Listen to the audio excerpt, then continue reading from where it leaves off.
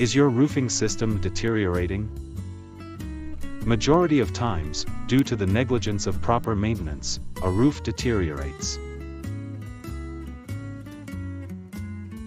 When your roof becomes older and there are so many issues that cannot be repaired, replacing the roof is the ideal option.